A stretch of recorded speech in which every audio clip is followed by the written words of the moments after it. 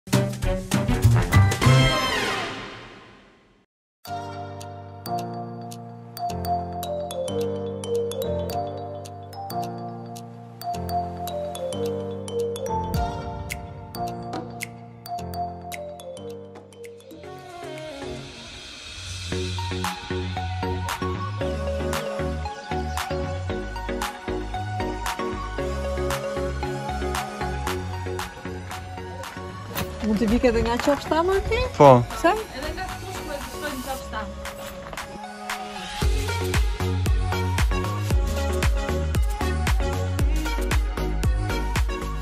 Sot me Tirana ime Outdoor jemi nisur drejt liqenit të Bovillës, një nga atraksionet më të pëlqyera të viteve të fundit për aktivitetet outdoor hiking.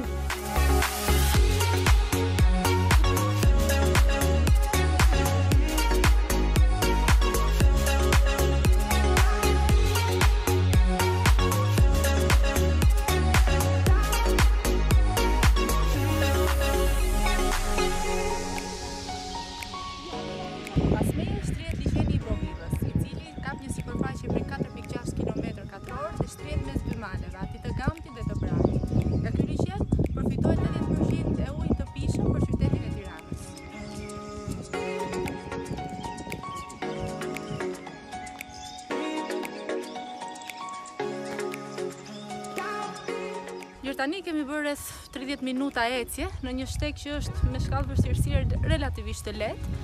Dielli sot qenka goxha i fortë, kështu që duhet me patjetër të merrni kapelen, kremin e diellit edhe ujë. Këtu nis ngjitja për majen më të lartë të destinacionit tonë.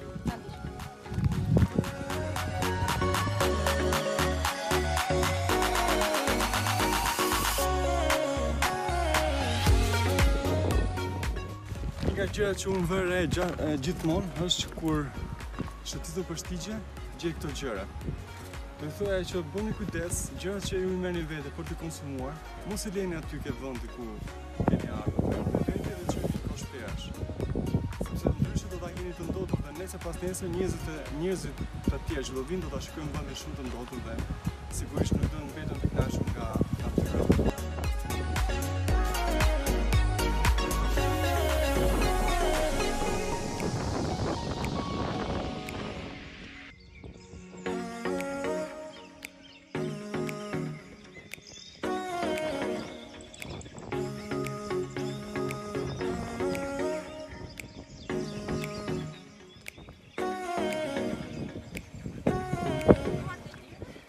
Kjo është pjesa më e vështirë, por që të gjithë kapuni për dore dhe vazhdojmë ngjitemi avash avash.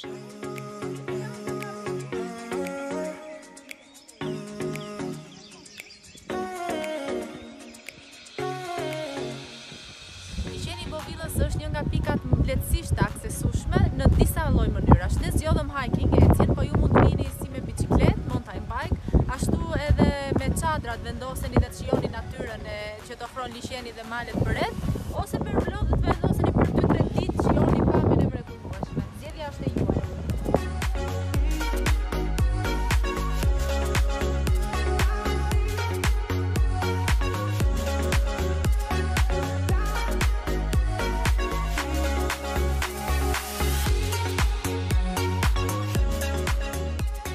Arritëm në pikën përfundimtare të shtegut tonë, në panoramën që me shtegut të Bovillës.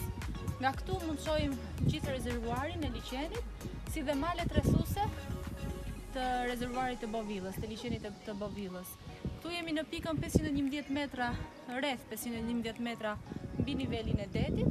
Gjer tani shkalla e vështirësisë ishte diku mesatare, si për amatorët është mbase pak më vështirë se mesatarja, por është i, i bëshëm shtegu i e qëmi bëshëm.